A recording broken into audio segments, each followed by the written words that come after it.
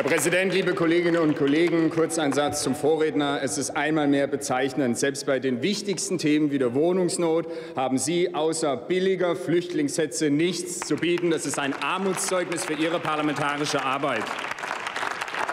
Dabei gehört das Thema Wohnungsnot zu einem der wichtigsten Probleme, die wir haben in Deutschland. Und deswegen sind wir als Gesetzgeber gefordert. Wir müssen dafür sorgen, dass es mehr bezahlbaren Wohnraum gibt und dass die Mieten nicht explodieren, liebe Kolleginnen und Kollegen. Und natürlich gehört dazu, dass wir mehr sozialen Wohnraum schaffen, bezahlbaren Wohnraum schaffen. Und dafür haben wir uns eine Fülle von Maßnahmen vorgenommen, mit dem Baukindergeld, mit steuerlichen Abschreibungen oder uns ganz wichtig, über zwei Milliarden mehr für den sozialen Wohnungsbau. Das sind wichtige Maßnahmen, aber das wird seine Zeit dauern, bis diese Maßnahmen greifen und sich auf das Mietniveau auswirken. Und deshalb muss jetzt die Devise lauten, wir müssen ran ans Mietrecht, wir müssen Mieterinnen und Mieter besser schützen vor explodierenden Mieten. Da müssen wir jetzt ran. Das ist eine zu wichtige Aufgabe, als dass wir das liegen lassen könnten, liebe Kolleginnen und Kollegen.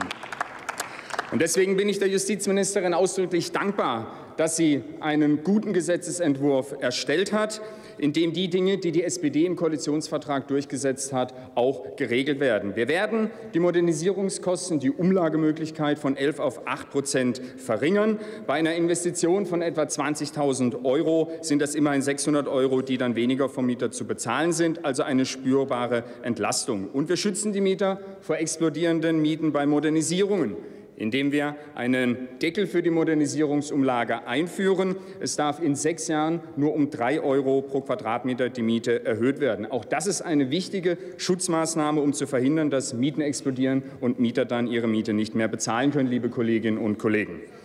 Und wir erleben leider auch, dass nicht nur große Wohnungskonzerne, aber vor allem ihre Mieter herausmodernisieren. Und eine Variante besteht darin, dass teure Modernisierungen angekündigt werden, dass der Mieter Angst bekommt vor hohen Mieten und dann von sich aus dazu verleitet wird, die Kündigung auszusprechen und dann Umzugskosten hat oder anderswo, wenn er eine Wohnung findet, eine höhere Miete zu bezahlen hat. Und deswegen haben wir uns vorgenommen, und das werden wir auch so regeln, dass es dann einen Schadenersatzanspruch äh, gibt dass also etwa die höheren Umzugskosten oder auch eine höhere Miete dann zu bezahlen ist. Das, liebe Kolleginnen und Kollegen, ist Fairness im Mietrecht. Wenn der Vermieter lügt und dadurch Kosten verursacht beim Mieter, dann soll er auch dafür haften, liebe Kolleginnen und Kollegen.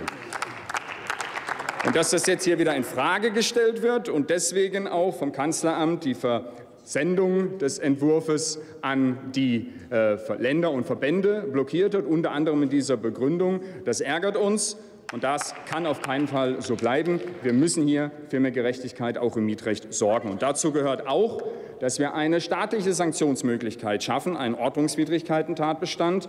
Denn wenn man die Wohnung verliert als Mieter, dann hat man andere Sorgen, als eine Zivilklage gegen den Vermieter zu erheben. Also gegen die schwarze Schafen bei den Vermietern. Und nur um die geht es. Um die dran zu bekommen, brauchen wir auch eine staatliche Sanktion. Und deshalb ist es gut, dass der Gesetzesvorschlag von Frau Barley, wie wir es uns auch im Koalitionsvertrag vorgenommen haben, einen Ordnungstatbestand vorgeht, äh, vorsieht, dass es ein Bußgeld gibt, wenn der Vermieter äh, den Mieter anlügt, wenn er durch einen bösartigen Bluff hohe Modernisierungskosten vorgaukelt und der Mieter dadurch seine Wohnung aufgibt. Liebe Kolleginnen und Kollegen, eine wichtige Maßnahme. Sie sehen,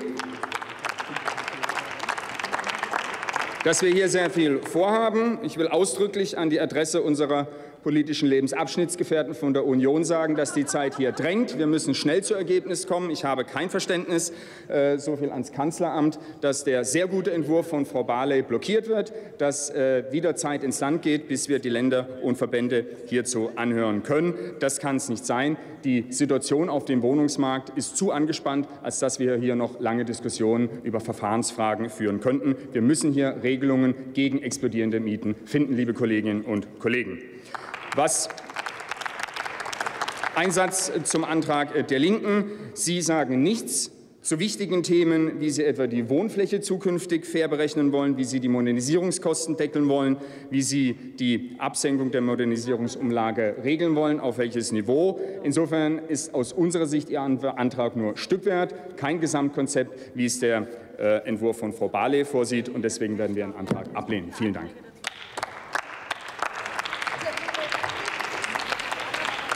Als nächste spricht für die FDP Katharina Kloke.